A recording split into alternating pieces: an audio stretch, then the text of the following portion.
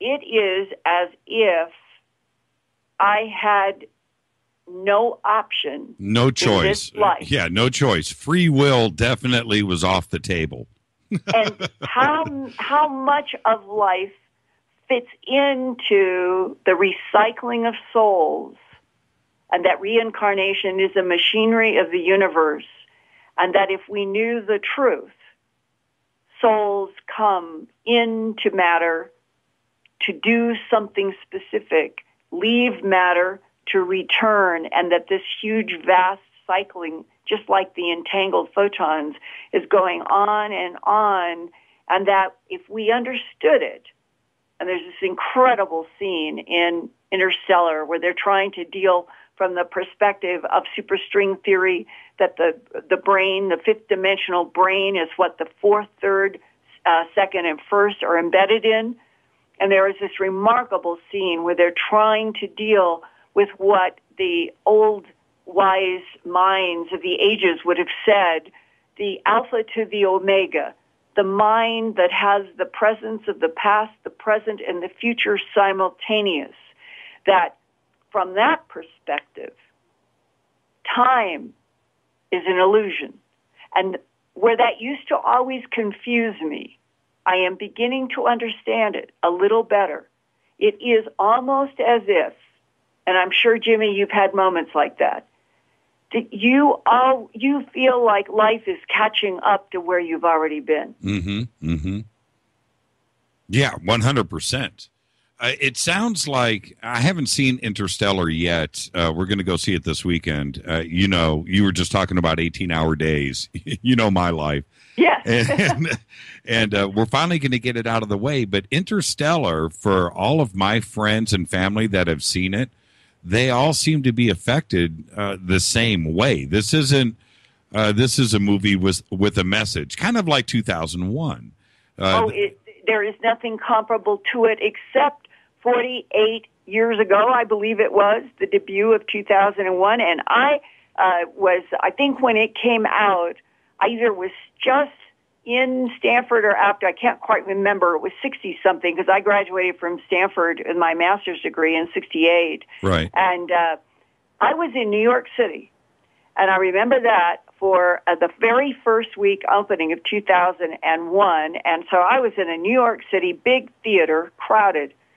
And when the, the credits began to roll on 2001, the entire New York City audience. You know what I mean when I say New York City. They, they've they've been around and they've seen a lot of movies. Right. They they jumped screaming, myself included.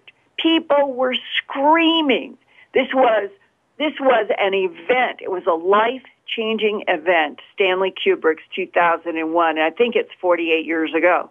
Now, so between that and I got to see, along with that audience and a few other audiences, the total uncut. I think it was three hours and 20 minutes. It was hugely long, broke every mold then. And so I got to see in that first week that uh, New York screening without anything cut. And then there were critics who said it was way too long, and Kubrick went in and cut out, I think, 30, 35 minutes, something. I don't remember the exact time. And so what everybody else has seen of 2001 since that first week or so has always been the cut version. That's right. And now, 2014, what has happened with this interstellar is taking the 2001 event, and I'm telling you, this is to a power of 10 more. And that, and to underscore, I was in a theater, there were seven of us who went that Saturday, that Saturday, excuse me, after I had put the Earth Files up, seven of us went to see Interstellar in IMAX.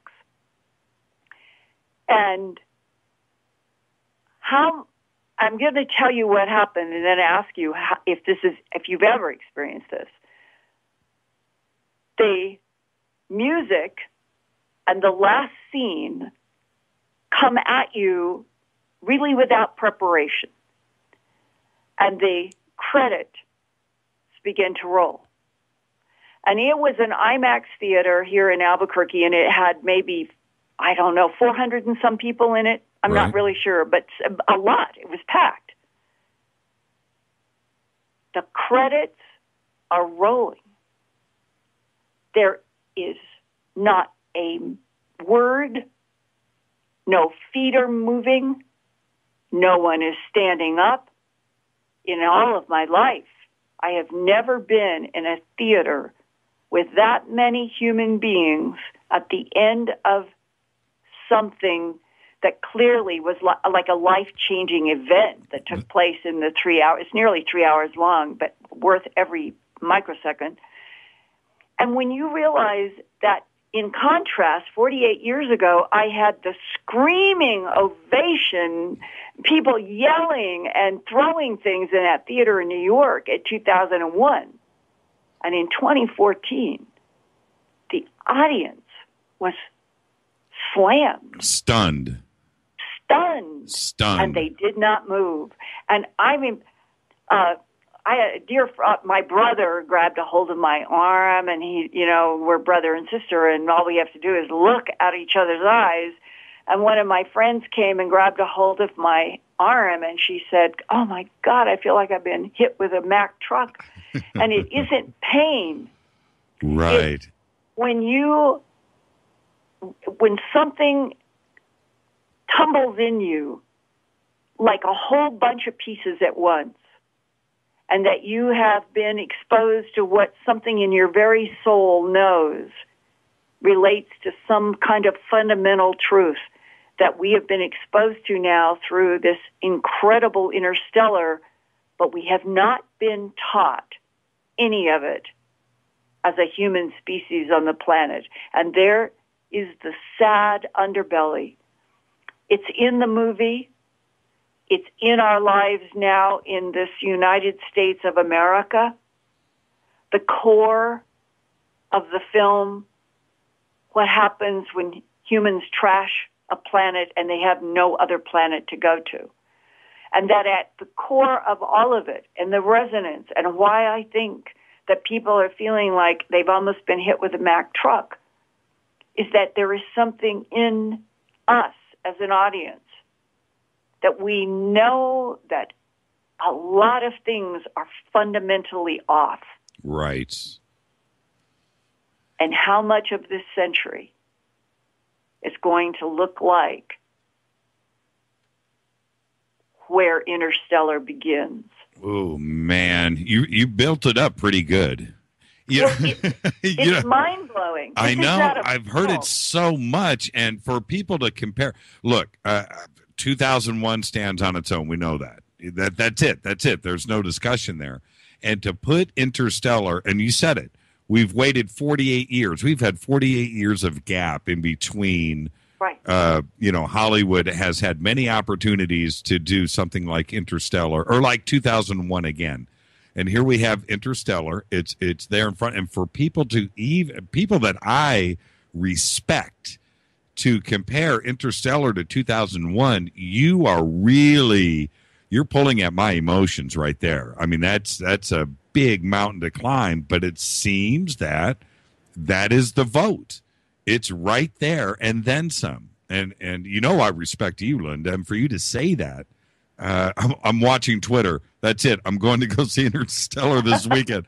it's just flicking by. Jimmy, I would be uh, stunned myself if you, in your program after you have seen Interstellar, are not using as the benchmark the historic 2001, but this has broken the mold in spades. Really? Yes.